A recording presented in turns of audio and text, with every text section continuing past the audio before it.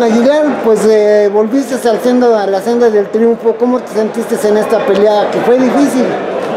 Así es, gracias a Dios este, regresamos a la senda del triunfo y con, con, un, con un, este, una victoria contundente y que es de eliminatoria. Y nos sentimos muy bien, gracias a Dios. Oye, yo siempre te había mencionado que uno de tus grandes defectos era perdonar la vida. Los dejabas vivir cuando ya los tenías y luego se te escapaban por ahí. Hoy no hubo eso, hoy no perdonaste la vida de nadie.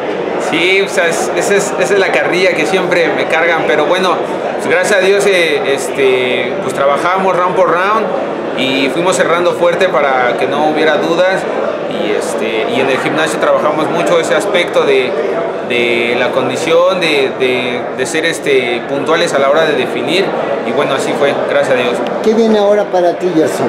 Bueno, pues viene la, la- la pelea de campeonato a corto plazo y pues, a coronarnos primeramente Dios.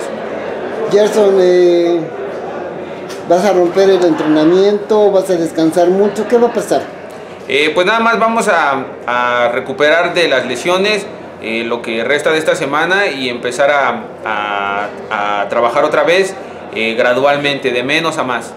Y este año te debe de llegar la oportunidad titular. Así es, claro. Bueno, ya nos llegó, ya no la ganamos y, y ahora es culminar esa, esa oportunidad, es culminarla y, y puntualizo, vamos a ser campeones. Oye, un premio especial por este triunfo, muéstranos qué fue. Eh, sí, el, el CMB nos, nos, este, nos, nos regaló 5 mil pesos a los que fueran este, los candidatos al, al- al campeonato.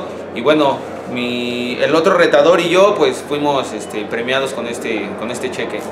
Pues Gerson, a seguir echando ganas, esperar la fecha y que sigan los éxitos. Muchas gracias a todos ustedes que siempre están con Gerson Aguilar. Gracias, un saludo a todo el, el público de Boxeo de Knockout Informa.